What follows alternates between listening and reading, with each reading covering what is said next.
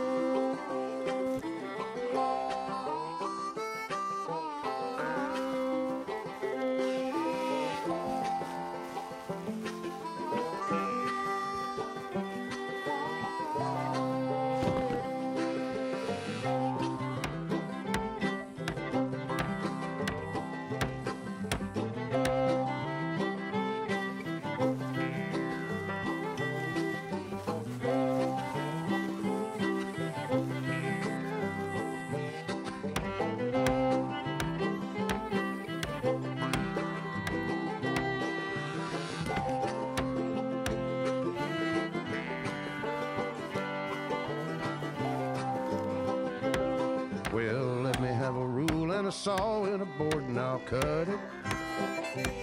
I'll climb up a ladder with a hammer and a nail and I'll nail it. Well, we worked so hard to build a little house together.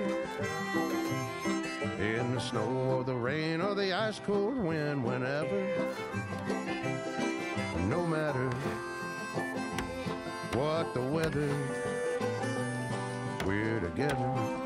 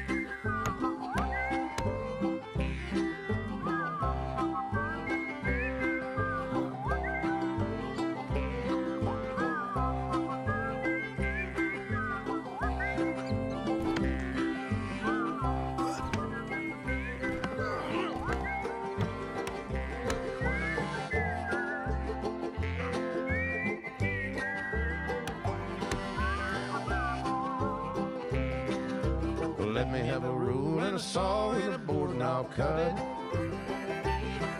Climb up a ladder with a hammer and a nail and I'll nail it. Well, we worked so hard to build a little house together.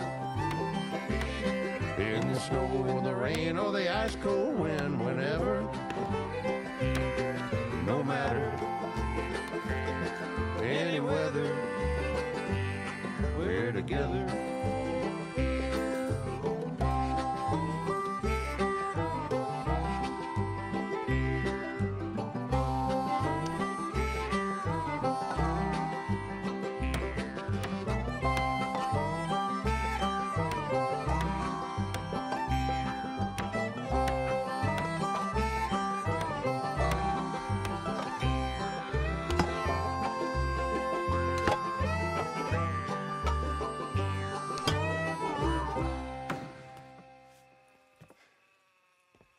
And I think that's everything.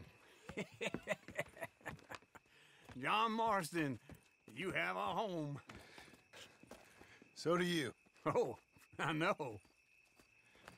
And you, Charles. As long as you'll stay with us. Thank you.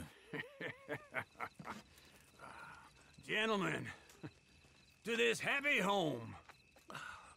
Well, at least till this fool gets his woman back.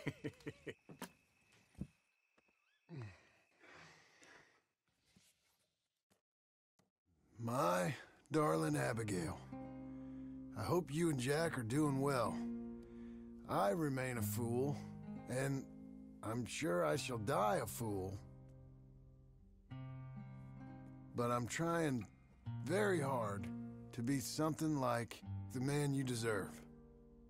I have done something very silly in an effort to impress you. And that is, I've purchased a home. The land you read about in the newspaper up at Beecher's Hope is now ours, and we are going to try our hand at ranching. Mr. Geddes kindly helped me buy the land.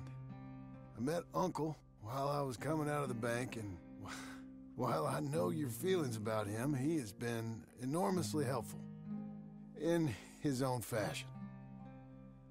Charles Smith has also appeared and is unsurprisingly a pillar of strength. Together, we've built you a home. I hope soon to show it to you. I miss you and the boy more than I can express. Please, come back to me. Yours always, John.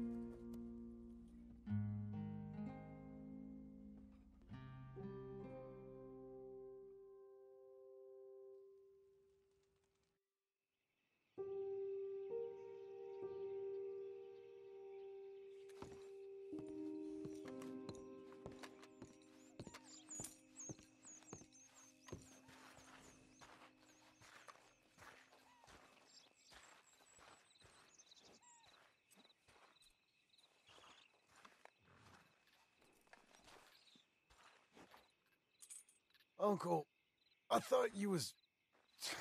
Where the hell?